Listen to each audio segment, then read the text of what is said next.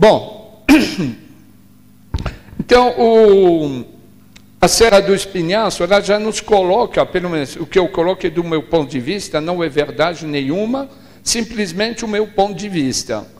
A Serra do Espinhaço, ela nos coloca uma primeira questão que não está aqui, que onde ela começa e onde ela acaba. Né?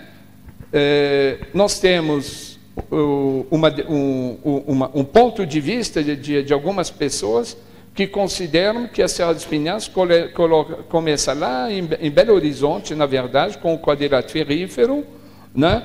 e chega até a Bahia, na Chapada Diamantina. Até a Chapada Diamantina, eh, aí começa a ter um problema.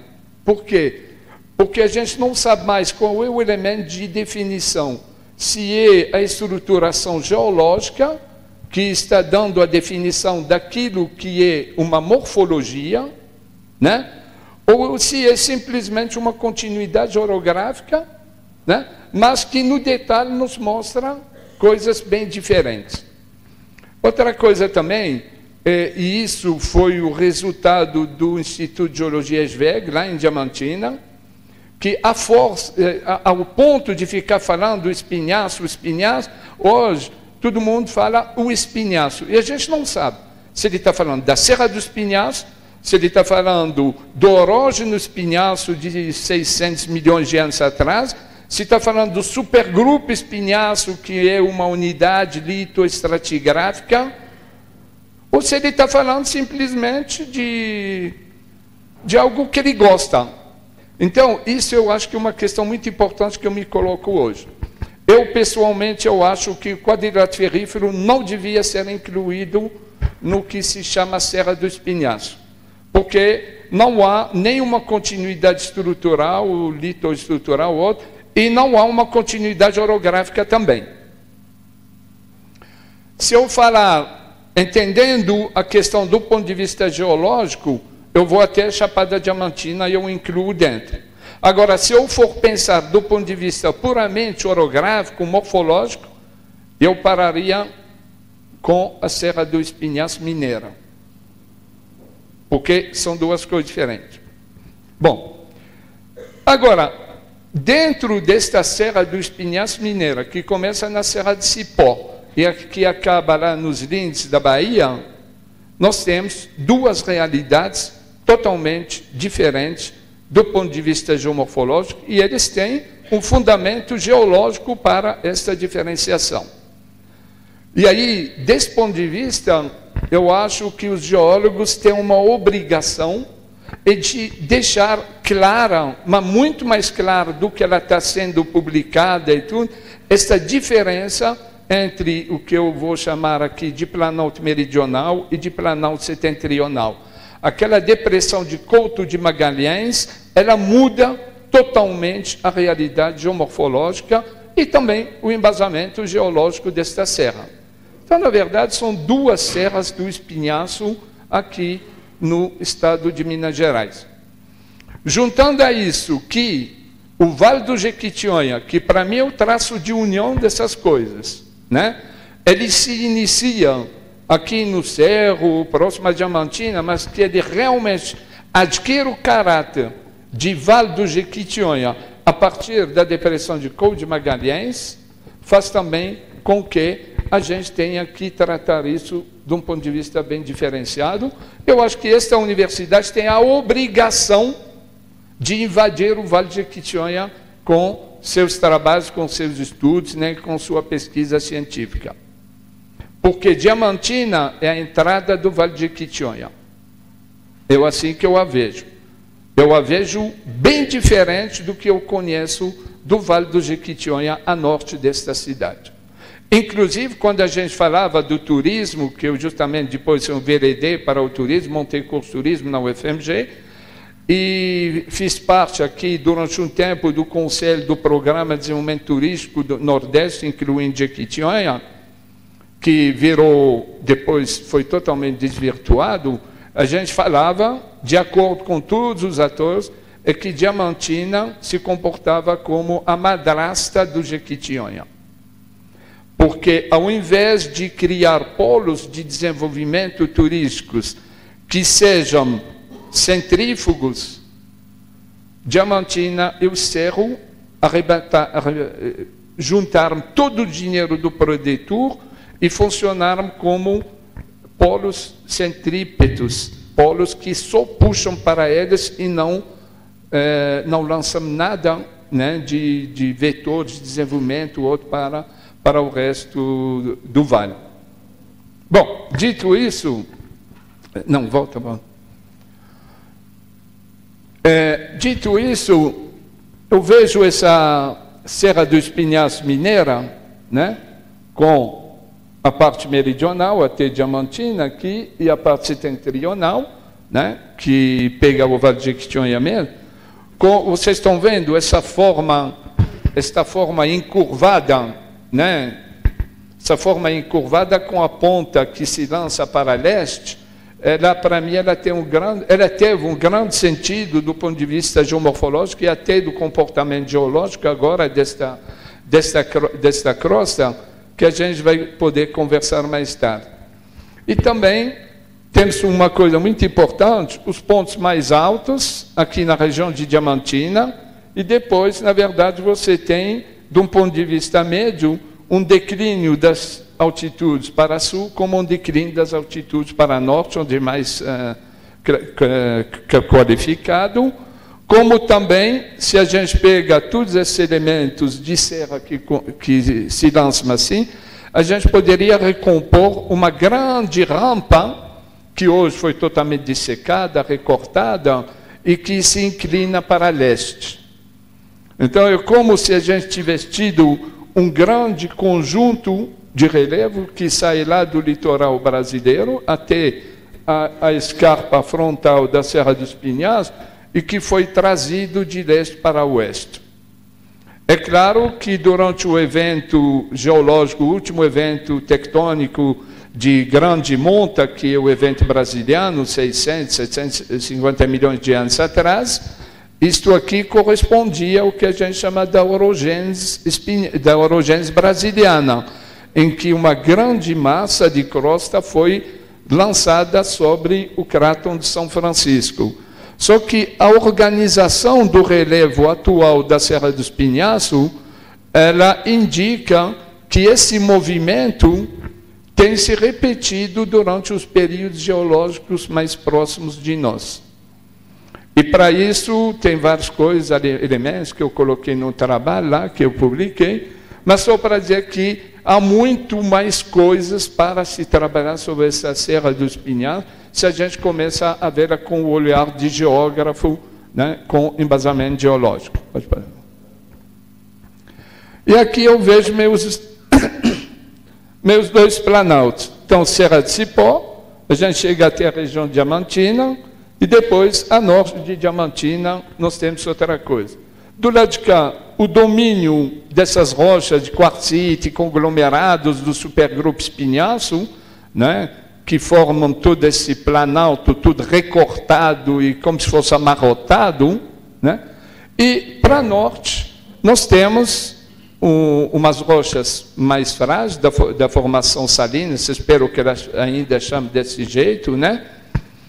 e que forma um platô que é exatamente como esta mesa, cortado a faca, durante centenas de quilômetros, a partir de, de, de um pouco do, a norte do Parque do Rio Preto, e a gente vai lá, passa a região diamantina, chega até Virgem da Lapa, aquelas chapadas de Lelivelde, e vai até Padre Carvalho e tudo, é uma mesa cortada a faca, só com uma saliência que é a Serra de Grão-Mogol, né, na região de Grão-Mogol, onde reaparecem os quartzitos do supergrupo espinhaço, formando uma espinha que se alonga norte-sul. Então, são dois domínios totalmente diferentes, mas que vão também nos ensinar, ou nós temos um... Se eu falar assim, é bom? Não. Parece a minha sala de aula, todo mundo lá no fundo, eu vou chegar na frente. Ué. então, é, que, que eu estava falando já?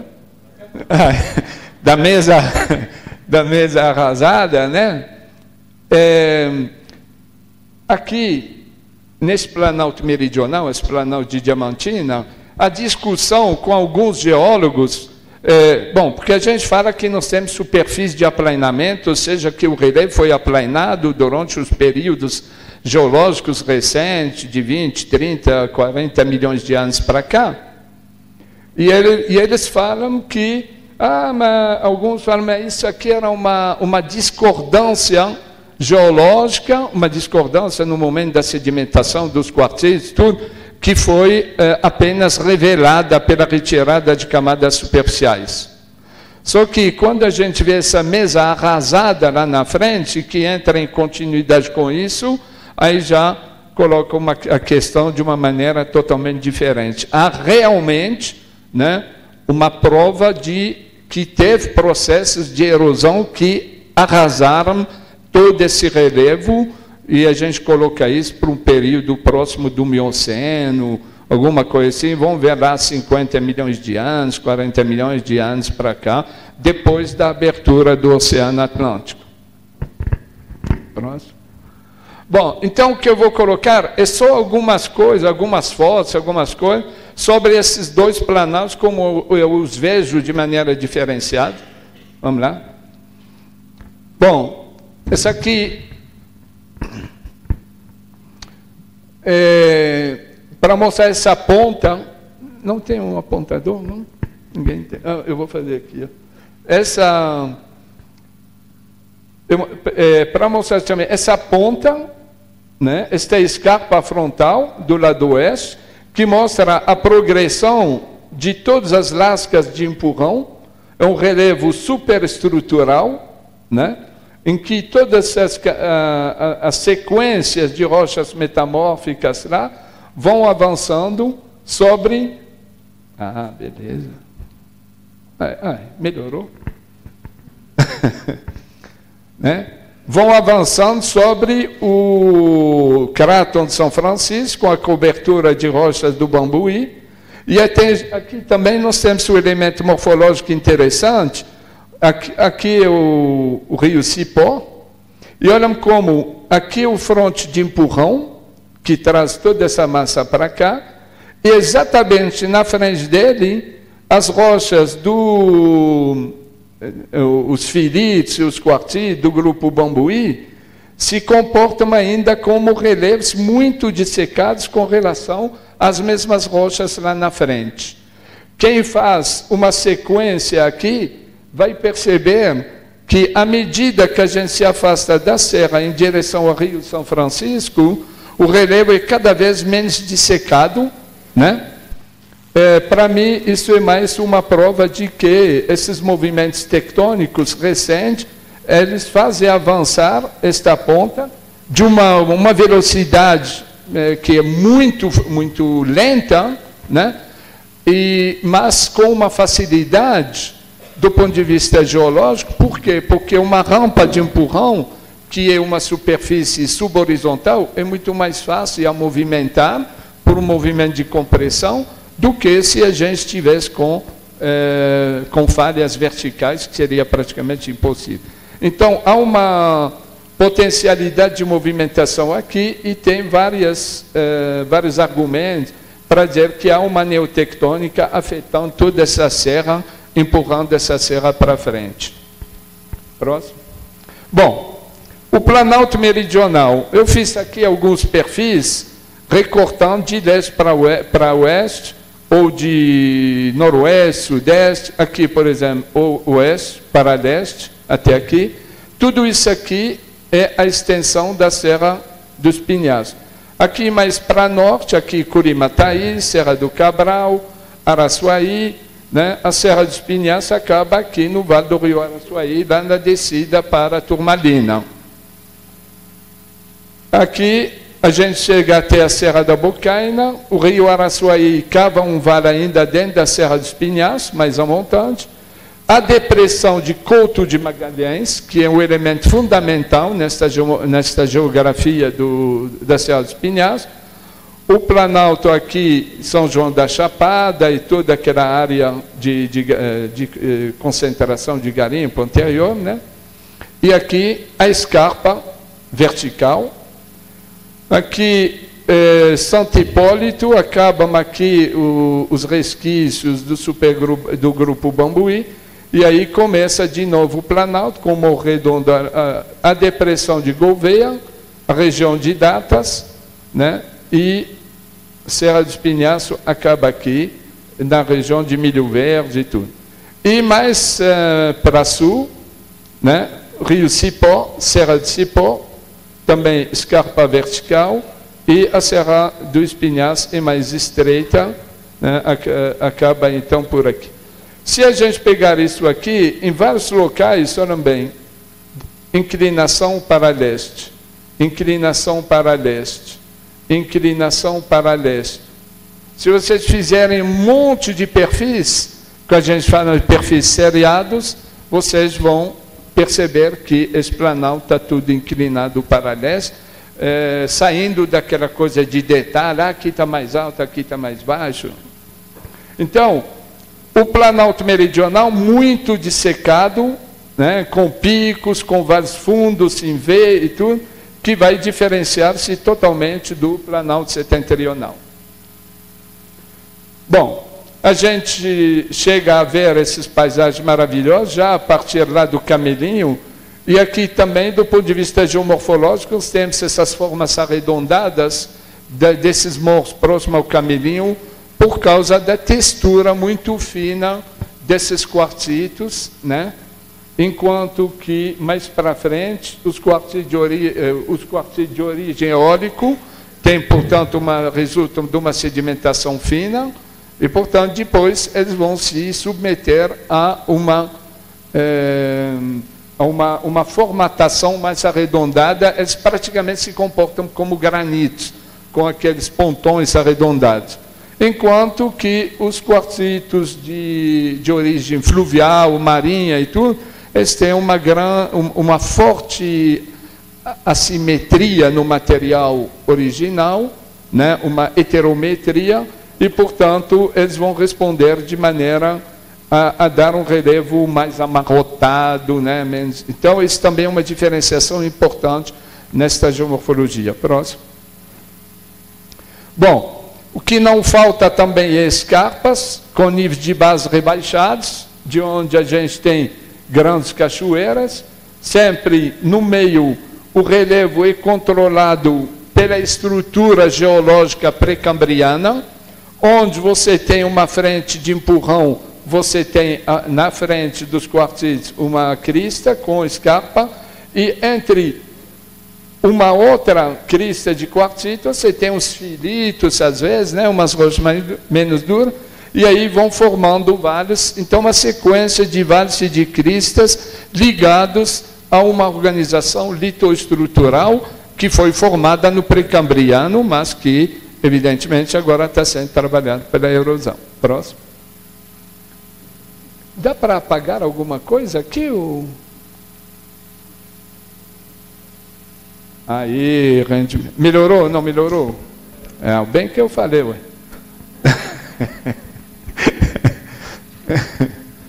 Bom, então a gente tem esse tipo de, de, de, de formas de relevo, macro e, e meso, onde os quartzitos vão ditar né, as zonas altas, ou sob forma de chapeuzinhos assim, sob forma de cristas, de escarpamento, né? Próximo. Mas tem algum, alguns lugares onde esses quartzitos se encontram também em posição subhorizontal. É claro, porque esses empurrões, né, eles eh, são como grandes massas que navegaram sob forma de naps. Essa aqui é a Cachoeira das Maçãs, lá em Cabeça de Boi, na Serra de Cipó. É um lugar maravilhoso. Quem não foi, que já se programa. É, a hum, cachoeira de, de, de, várias centenas de metros, lá na região de Conceição do Mato Dentro, aí para a borda oriental do, da Serra do, do Espinhaço, né? próximo. Bom, e aí dentro desse planalto, com essas eh, esse planalto tem essas características da predominância do controle do relevo pelos quartzitos e conglomerados, e essas alternâncias litológicas que são também adaptadas às alternâncias na organização estrutural que vem desses empurrões brasilianos de leste para oeste. Dentro desse, desse planalto, nós temos uma, uma, uma unidade muito, eh, muito original, que a gente vai visitar amanhã no campo, que é a Depressão de Gouveia. Né? Com esta massa de granitos que está eh, que, que tá se, se impondo lá, e lá também nós temos então as cristas de quartzite e de, de metaconglomerado que sustentam eh, as escarpas fazendo um grande círculo, como se fosse um grande anfiteatro, e no meio esses granitos gnais, e que demonstram também a presença de, eh, de eventos de aplanamento do relevo, provavelmente de idade terciária. Em alguns deles nós temos ainda cascalheiras eh, de quartzo, muito espessas, inclusive com presença de eh, pepitas de ouro. E por isso elas estão sumindo, porque estão sendo garimpadas direto e o que sobra do garimpo é utilizado para encascalhamento das estradas. Esta depressão, ela foi um grande laboratório de morfologia para nós, né? Nós temos então a, a, o alto da Chapadinha, que é uma superfície de aplanamento nos quartzitos, que é a mesma regional, e lá dentro nós temos uma superfície de aplanamento que é marcada por vários topos planos né, ocupados por cascalheiras dentro da depressão de Gouveia. E agora, dentro desta depressão, esses uh, granitos gnais comportam toda aquela, aquela província de Vossorocas, que é uma das mais belas que eu conheço no estado de Minas Gerais, e que são um laboratório de morfologia fantástico. Eh, elas eh, trazem as provas e os elementos de interpretação das vossorocas como feições de erosão de origem natural, né? porque elas existiam antes da presença do ser humano lá. Nós já fizemos datações em, em que a gente chama de paleovossorocas, datações por radiocarbono, que deu 37 mil anos. Né? Então, 37 mil anos atrás já tinha vossorocas lá, né? Eu mesmo, quando eu trabalhei lá, eu fiz uma pesquisa com todos os moradores da região, os mais velhos, né? E aqueles que já tinham 100 anos de idade diziam também que desde que eles nasceram, aquelas vossorocas estavam lá.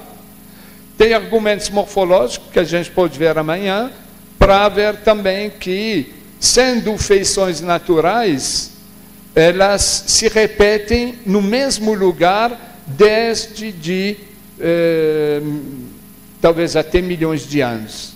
O lugar que é propício para a formação de uma vossoroca vai, vai, eh, vai mostrar a repetição de vossorocas no mesmo lugar ao longo de 40 mil, 50 mil, 60 mil anos. É evidente que a atuação antrópica desses três últimos séculos, ela introduziu elementos de expansão dessas vossorocas, de diversificação, e até de nascimento de Vossoroca. Eu vi uma na Vossoroca nascendo lá na depressão de Gouveia, engolindo uma floresta, engolindo uma mata. A gente passa lá e a gente vai ver, vem indicá-la. Tinha uma mata enorme e essa mata simplesmente um, da noite para o dia foi engolida por uma vossoroca. O que seria uma opinião contrária a tudo aquilo que a gente entende quando se fala de erosão a mata protege, mas cada proteção ela tem seus limites frente a especificidades locais ou regionais.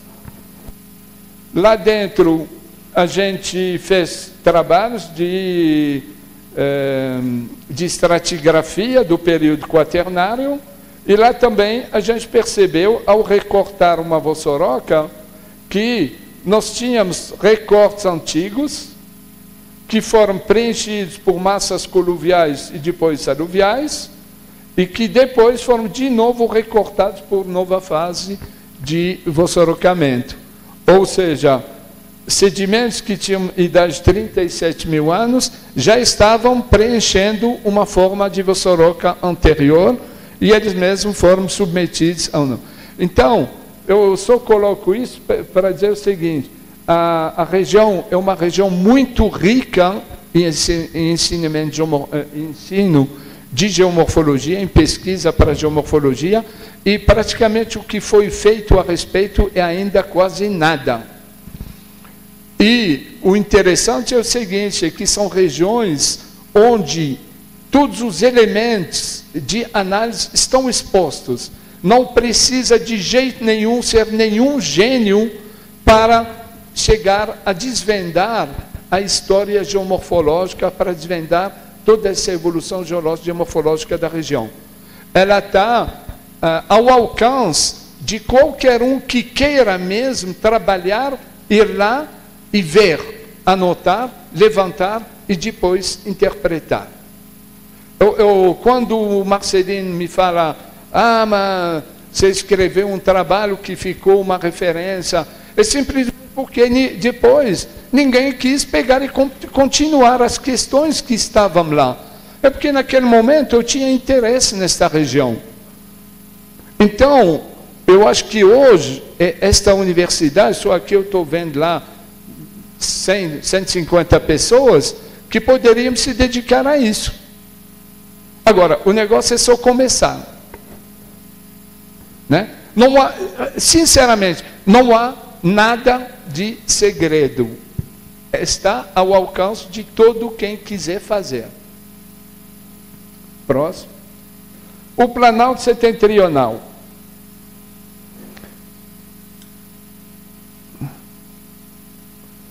Aqui no norte, Barrocão, Grão-Mogol, olha aqui, a crista de Quartzito. Tá? A crista lá da Serra de Grão-Mogol, Agora, se a gente pegar o resto, ó, tudo relevo mais mole do que aquilo que a gente estava vendo antes. A Serra dos Pinhais, para um pouco antes da descida para a Virgem da Lapa, e vai até a fronte lá no município de Barrocão, a fronte do, é, da Escarpa lá. Um pouco mais é, para sul, aqui o rio Macaúbas, Maca, é, Itacambira, Serra do Cantagalo, aqui a, o Vale do Rio Jequitinhonha, Chapada de Acauã, Turmalina, logo antes de Turmalina, o rio Araçuaí marca o limite da Serra do Espinhaço. E um pouco aqui para mais para sul, temos aqui a Chapada de Acauã, o rio Araçuaí, o rio Jequitinhonha e à frente lá as areias do rio Tabatinga, um pouco antes, nós temos aqui Serra. Olha como que aqui nós estamos com um aplanamento perfeito, isso que a gente vai ver nas fotos para frente. Vamos lá para frente.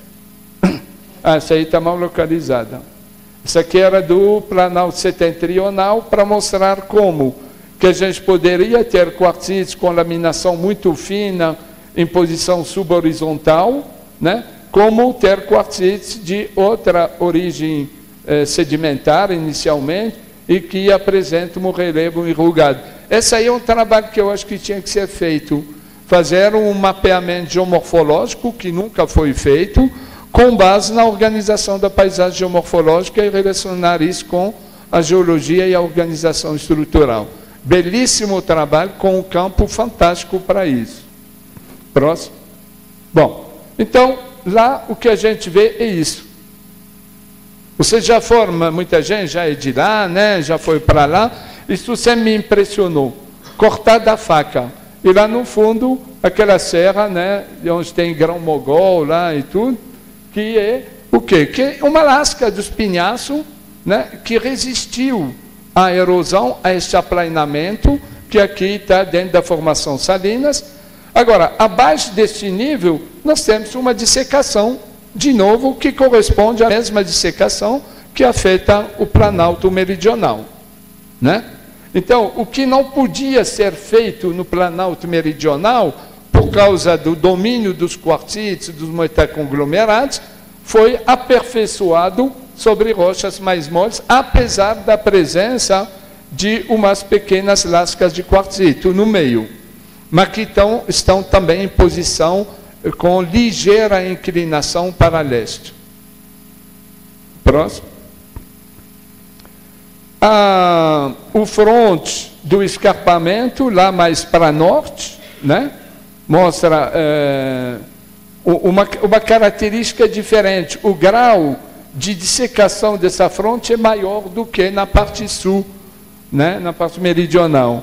E também aqueles relevos que eh, sustentam a região de Grão-Mogol. Agora, olha aqui, essa cor branca que está espalhada aqui. Né? Essa aqui vai diferenciar, o, uh, e teria que diferenciar a pesquisa geomorfológica nesse planalto setentrional, por uma razão que eu vou mostrar depois. Essa aqui são fragmentos de, de quartzo que são oriundos do da erosão desta crista quartzítica e conglomerática lá da região de Grão-Mogol. Próximo. Bom, uma outra questão que eu acho interessante, que eu tinha atinado para ela na época e depois também não, não levei a, a sério, eu fiz aqui o perfil longitudinal do rio Jequitinhonha e aqui o perfil longitudinal do rio Araçuaí. E aí me apareceu o seguinte: é que o rio Araçuaí, que tinha que se jogar no rio Jequitinhonha, parece que é o contrário. Parece que lá o rio Jequitinhonha está mais alto do que o rio Araçuaí. Então, isso aqui, esse ponto aqui, merece uma, uma investigação. Ah, hoje nós temos eh, técnicas de de levantamento geodésico, né, mais preciso e tudo, mas por que isso? Aí vai ter que ver, porque o rio Araçuaí ele corre ao longo de uma falha de grande extensão, né, no, na direção sul, sudoeste, nor, noroeste, né, e provavelmente tem alguma coisa a ver com isso. Próximo. E aqui uma questão também ligada ao Rio Jequitinhonha, também que eu não levei para frente, mas que eu colhi mais argumentos mais para frente, que é o seguinte, o Rio Jequitinhonha nasce na região do Cerro, e aí ele vai em direção a norte. Só que aqui na depressão de Cor de Magalhães, ele, ele dá uma corrida em direção a noroeste, para depois virar e entrar naquele canyon que se inicia aqui, chega a 300 metros de altura, lá onde hoje é a represa de Irapé. Então, isso aqui me chamou a atenção. Eu fui olhar, eu vi que o rio Jequitaí, ele cava um vale que penetra muito né, em direção a leste. Então, pensei, para aí, mas esse rio aqui, esse aqui é uma situação anômala, né? Até porque tem um, me parece que o, o Alto Rio Jequitinhonha já tenha sido apenas a cabeceira do Rio Jequitaí. E por que, que ele virou depois para lá? Vocês lembram nossa inclinação de oeste para leste? Essa nossa inclinação do oeste para leste ela pode representar um basculamento através desse movimento que eu estava falando, né, que a partir de um certo momento a cabeceira do rio Jequitinhonha não podia mais ser para lá e ela se conectou a uma cabeceira do rio Jequitinhonha, do Palio Rio Jequitinhonha, que estava avançando mais para frente, mais para sul. Bom, aí recentemente, eh, dentro da nossa temporalidade aí de pesquisa, aqui tem a Serra do Cabral. E na Serra do Cabral, pesquisadores sérios, com publicação séria, identificaram, e numa altura bem compatível com eh, os níveis aqui da Serra dos Pinhais, identificaram terraços aluviais do Cretáceo com diamante. Ora, a fonte do diamante está aqui. Tá? A fonte do diamante está aqui. Para que esse diamante tenha migrado para lá, inclusive a, a, as feições sedimentares mostram que esses sedimentos migraram para lá. Então, durante o Cretáceo, que tudo isso estava aplainado, provavelmente o, eh, eh, a, o, o, que é hoje o Alto Jequitinhonha era apenas, na verdade, o Alto Rio Jequitaí, ele tem depositado diamante aqui nessas áreas do, da Serra do que hoje, né, a Serra do Cabral, e por causa desse soerguimento, desse basculamento, o rio Jequitinhonha então conectou-se, e isso é corrente, é corriqueiro em todos os rios brasileiros. E olha bem, o Brasil tem uma peculiaridade do ponto de vista geomorfológico. O Brasil, desde, do, desde 400 milhões de anos, digamos, né, desde a passagem do Precambriano para o Paleozoico, o Brasil nunca mais registrou uma sedimentação marinha, a não ser lá no Nordeste uma pequena incursão, né? Então, é um, toda a sedimentação das bacias, das grandes bacias, o que a gente chama as grandes bacias intracratone, a sedimentação ela é continental. Significa que desde aquela época esse Brasil está só erodindo. E se ele está só erodindo, é porque ele está sempre se levantando com relação ao nível do mar. Nós não temos sedimentação cretácica marinha. Nós não temos sedimentação terciária marinha, nós não temos sedimentação marinha eh, cenozoica, é sempre erosão. E isso é o sinal de que é uma porção de crosta que está sempre em movimento de ascensão. Então, isso aqui, é, e até o, o Baixo Jequitinhonha, se a gente olha o mapa geológico, né, é, claro que nosso mapeamento geológico é, é, muito fraco, numa escala de 1 por 1 milhão lá do, da CPRM, mas se a gente vê o depósito, é, o depósito terciário quaternário que bem caracteriza o litoral brasileiro, que é a, a, o grupo Barreiras, né? É, é, se a gente vê o que sobra do grupo Barreiras no Baixo de Quitionha, e, e, com relação ao.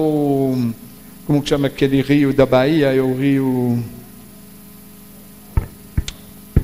Rio, rio, rio. Não, não, não, não. É maior. O Rio Pardo. Rio Pardo, a, a, a, essa sedimentação é contínua. Totalmente contínua. Então eu acredito também que o Baixo Rio Jequitinhonha devia se jogar no Rio Pardo. Né? E que a migração dele para leste com vários rios brasileiros, ela pode ser ligada a esses movimentos né, naquela, naquela hora. É, não esquecem que o rio Jequitinhonha, quando ele vira para leste, né, ele, te, ele tinha um patrimônio que nós deixamos invadir pelos baianos, né, que são as quedas de, de... Onde que tinha quedas no Jequitinhonha? Ué. Quedas d'água, cachoeira, no rio Jequitinhonha. Hein? Salto da Divisa, exatamente, o nome bem diz. Em Salto da Divisa tinha umas quedas, e antes dessas quedas tinha vários recortes do rio Jequitinhonha dentro do embasamento, mostrando que ele estava se readaptando pouco a pouco, escavando uma plataforma que tinha sido cessionada por falha. Os baianos construíram uma barragem que inundou todas as quedas e agora vão ter que mudar o nome da cidade. Agora vai ser o Lago da Divisa. É, ué. Próximo. Bom, esse aí, é, na verdade, não tem muito sentido, mas, é, não, volta, volta. Né? não, não dá para discutir muito isso. Aqui é o levantamento de tudo que se falou sobre grandes superfícies de aplainamento eh, no Brasil é relacionado com a região do, da Serra do Espinhaço. Né? Então, eh, no Planalto Meridional, no Planalto Setentrional, e aí a gente consegue fazer uma correlação, né? encontra uma boa correlação para dizer que realmente se trata de vários momentos de aplainamento, soerguimento, aplainamento, soerguimento, dentro de uma escala geológica que vai até o Cretáceo, claro. Né? Bom, mas isso aí é outra, outro nível de investigação, mas que também já é mais complicado e mais duradouro. Né? Próximo. Bom, esse mapa é o mapa, é, mapa geomorfológico da área de influência da, da represa de Irapé. Na época eu fiz isso como consultoria para o consórcio, consultoria para o consórcio que eh, implantou a, a represa. Aqui o rio Itacambeiro Sul, aqui o rio Jequitinhonha, né? E aí aqui tem temos vários níveis geomorfológicos, pá, mas por que, que eu estou trazendo? É porque essa aqui me ensinou uma coisa muito importante sobre a evolução geomorfológica da região e que eu estava dizendo necessita agora ser feita com mais. Porque trabalho de consultoria é trabalho jogado, rápido, né? Mas o que eu percebi é o seguinte: aqui a gente está no, uh, no Planalto Setentrional, tudo isso que a gente vê aqui são as, aquelas grandes superfícies de aplainamento, cortada a faca na horizontal, e aqui tem aquelas cristas da Serra de Grão-Mogol, né? Eh, naquela, eh, na região de Cristália, né, e tudo. Quando eu fui fazendo perfis assim, comecei a ver que o chão tinha cor diferente. Do lado de cá do rio Jequitinhonha, o chão é vermelho. Do outro lado, o chão é branco. De repente.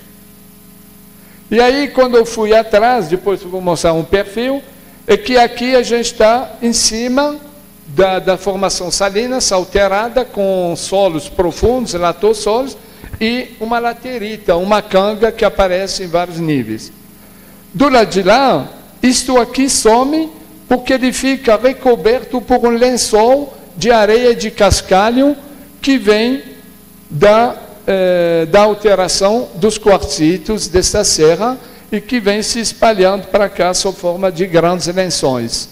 Ou seja, isso aqui é um elemento cronológico que mostra que o, o, a, a, o afundamento do rio Jequitinhonha dentro desse planalto foi anterior né, à exposição desses quartzitos para eles serem desmantelados. Por, por isso que esses, eh, esses sedimentos quartzosos não passam do lado de lá do Jequitinhonha, não passam para leste. Então, eu acho uma coisa super interessante e ver também o que, que tem por baixo se o grau de alteração dessa formação salinas continuou depois ou se essa cobertura freou esse desenvolvimento, né? E, e por quê? Enfim, tem muita coisa para procurar lá dentro. Próximo. Bom, aí aqui eu peguei só um, três casos para mostrar também direções interessantes de investigação é, no Planalto Meridional, no Planalto Setentrional. Aqui na altura de Senador Mourão, quando a gente pega uma imagem satélite lá do Google, a gente vê aqui, ó, planalto perfeito, olha aqui, tudo horizontal, e aqui dentro, né, vales com dissecação muito importantes, né, fundos, inclusive tem um lugar em que o vale do, o, os afluentes do rio Araçuaí e os do Jequitinhonha praticamente se tocam. A estrada ela passa apertadinha, daqui a pouco não vai ter, vai ter que fazer uma ponte. E é bom fazer logo, enquanto pode-se navegar lá, porque depois vai ter, tem uns trabalhos gigantes. Né? Aí, então, eu tenho esta vista aqui, vai lá? Esta vista me mostra, olha que perfeita essa superfície de aplanamento. E o recorte maravilhoso dentro dela, que é um recorte recente, ela está assim, está bem, bem anguloso, né? E aqui o que, que a gente tem? Tem a formação salinas e nesses topos aqui nós temos latossolos, né? Com laterita e por isso que o eucalipto lá, né? Se estende para todo lado. Nós temos aqui até 35 metros de rocha alterada. Essa aí eu verifiquei isso com poços da Copasa, né? Para extração de água. Então, essa, eh, aquilo lá é uma feição que eu acho interessante, do ponto de vista eh, das paisagens, do ponto de vista da, do avanço da erosão, do ponto de vista da cronologia desses fatos pedológicos e geomorfológicos. Né? Próximo. Um outro caso é lá no entroncamento de Turmalina. Aí eu volto àquela imagem, né? Esse planalto maravilhoso, perfeito aqui, com o, essa crista de quartzito lá na frente. É, vai lá no próximo. E aí o que é, seria justamente aquilo que eu estava falando antes, essa, aquela crista de supergrupos pinhaço na região de Grão-Mogol, essa formação salina com essas depressões profundas, aqui o Vale do Rio Jequitinhonha, do lado de cá nós temos latossoros com canga e do lado de lá nós temos lençóis de areias quartzosas e de cascalho, como aquela foto com aquela cor branca debaixo da, das sempre vivas. Então, teve um, um, recorte aqui que foi anterior à deposição desse lençol, portanto, anterior à degradação desses quartzitos para gerar isso. O que, que é isso? É muito interessante para estudar. Principalmente porque essa região aqui é maravilhosa, a região de Botumirim, Cristália e tudo, tem paisagens lindas demais. Só o único problema é que um Botumirim, o único banheiro que tem, ele tem janela na altura de meio metro. Próximo. É, mais a norte, lá em Leliveldia, Leliveldia é uma cidade que tem vários nomes, né? Tem Leliveldia, São, São Gonçalo de Minas, eu acho, né? E outra coisa. E, e aí, aqui nós temos então esta visão, vamos lá na próxima. E aí, nessa visão, temos também um, um negócio de geomorfologia fantástico para ser estudado. Por quê? Porque quando a gente chega lá, a gente começa a encontrar umas chapadas onde já não é mais a formação salinas que aflora. São sedimentos terciários, né, que a gente chamou na época de formação São Domingos, que capeiam todas aquelas chapadas de Virgem da Lapa, né? É, chega a ter 100 metros de sedimentos, que a gente vai ver depois, né? e que mostram, quando você vê um vale que recorta essa, essa chapada, você vê aqui a base desses sedimentos, que vai se reencontrar do outro lado, debaixo da chapada, ou seja, você tinha uma superfície de erosão anterior ao terciário, que deve corresponder àquela que a gente estava vendo, que depois foi soterrada por sedimentos que foram trazidos pelo rio Jequitinhonha. Eu acompanhei esses sedimentos dentro do Vale do Rio Jequitinhonha, na altitude de 750 metros, você vai acompanhando, você vai achando eles quase na altura de Turmalina, mais ou menos na latitude de Turmalina, dentro do Vale de Jequitinhonha. O Vale de Jequitinhonha aqui tem seis níveis de terraços aluviais que eu identifiquei, tem que ter uma cadência né, de rebaixamento, de secação do rio, que também não foi estudado. Alguns deles, agora, dependendo do local, já estão recobertos pelas águas do, da represa de Irapé. Né? É, próximo. Aqui esses sedimentos, quando a gente começa a descida para a Virgem da Lapa, aí eles vão aparecer. Né? Aqui, olha bem o tamanho e quando a gente vai descendo até chegar no contato com o embasamento, são 100 metros de sedimentos aluviais.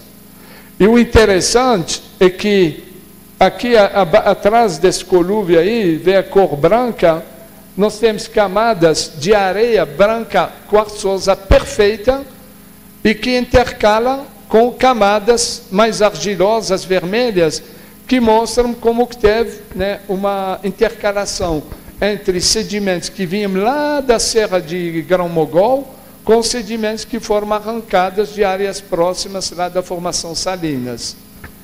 Também aqui tem um trabalhinho que a gente publicou uma vez, rapidinho, mas não tem nenhuma estratigrafia completa desses sedimentos. Próximo. A interpretação que eu fiz na época e que precisa ser eh, confirmada ou enfermada, enfim, trabalhada, é o seguinte. Aqui nós temos Rio Itacambiru Sul, Rio Jequitinhonha, aqui sair da serra, né? E aí aqui a gente vai em direção à Virgem da Lapa. Esses sedimentos se encontram sob forma de vários topos de chapada, mas eles se encontram também em turmalina. Turmalina está assentada sobre esses sedimentos.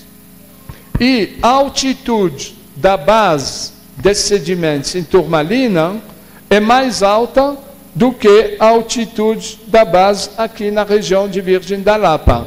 Ou seja, provavelmente tinha um fluxo também que vinha de turmalina em direção a umas fossas tectônicas aqui, são os grabens lá de Virgem da Lapa, né, e tudo. E aí que eu interpretei desse jeito, a gente tinha uma superfície lá no Mioceno, aí no Plioceno você teve uma formação de fossas tectônicas que foram preenchidas por essa formação São Domingos, e posteriormente você teve uma, um soerguimento eh, regional que levou a essa, conduziu a essa dissecação para deixar o relevo sob forma de chapadas com sedimentos terciários que estão acima de tudo. Isso também é outro tema para trabalhar. Dou até a dica o seguinte, é que na região de Turmalina, além da altitude, o, nós encontramos faces sedimentares que em alguns lugares são lacus de lagos, né? E, e de fluxos de detritos e massa. E quando a gente chega na região de Virgem da Lapa, a, a, a organização sedimentar é tipicamente fluvial. Então, você tem lá a, a, progressão de um sistema fluvial de lago para fluxo de detritos para fluvial perfeito, que é também para. É, então, o que tem sobre isso é quase nada. É apenas uma visão espiritual de um certo momento. Próximo. Aí aqui então, aí Turmalina, né? Minas Novas, Francisco Badaró, tudo isso aqui são essas manchas de sedimento, lá, e tem do outro lado o próximo a rubelita. Então, tem também a, a necessidade de fazer um mapeamento detalhado dessas, desses sedimentos e depois entrar ao longo do Vale de Quitionha, mas aí hoje a represa já matou muitos pontos de observação, né? Mas aqui já dá para fazer trabalhos durante uma década. Próximo. Bom, é, a provocação com relação à geomorfologia espinhaça essa, porque a gente podia ficar conversando, conversando, conversando e não sair nada, né?